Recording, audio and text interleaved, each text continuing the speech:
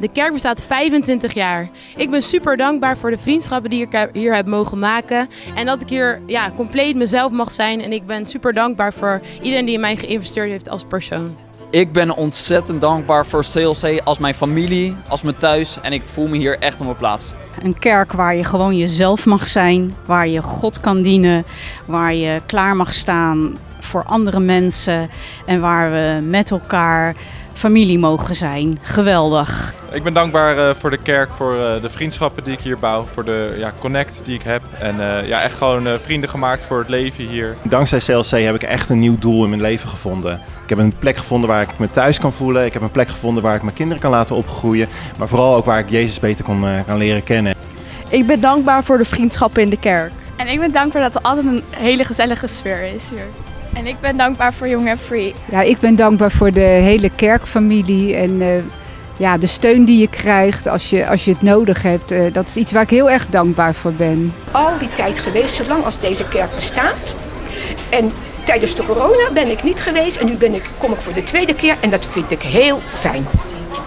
Ik ben hier in deze kerk heel erg dankbaar voor de vrienden die ik hier heb. En gewoon, ja, gewoon de sfeer die hier is en gewoon mijn leven met God. Waar ik super dankbaar voor ben voor CLC is mijn community friends, zeg maar. Echt gewoon een vriendengroep waarmee ik gewoon dingen mee kan maken. En ook gewoon als ik ergens mee zit en ook als ik gewoon hele leuke dingen heb, dat ik die met hun kan delen. Omdat we hier een kerk hebben waar gebouwd wordt, waarin we uh, vrienden hebben uh, die ons tot ons bestemming leiden. Dat, omdat er in CLC steeds nieuwe mensen God kunnen leren kennen. Gewoon voor het leven en uh, het leven delen met elkaar, vriendschappen.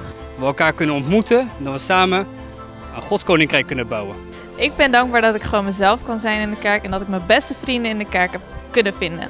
Dat we met de tieners gewoon een hele toffe groep hebben kunnen neerzetten. En ik ben dankbaar dat ik daar nu ook mag, uh, mag helpen en dat ik tieners on the way up mag nemen.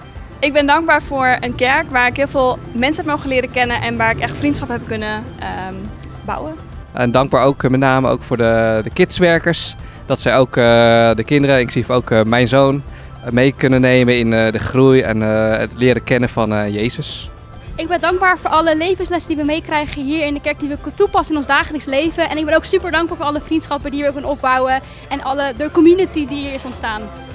Ik ben dankbaar voor CLC, een, een kerk dat um, zoveel invloed heeft op de maatschappij en uh, goede dingen doet. Ik ben dankbaar voor een kerk waar je echt vriendschappen kan opbouwen en waar je ook echt de steun krijgt om je reis zo goed mogelijk te maken.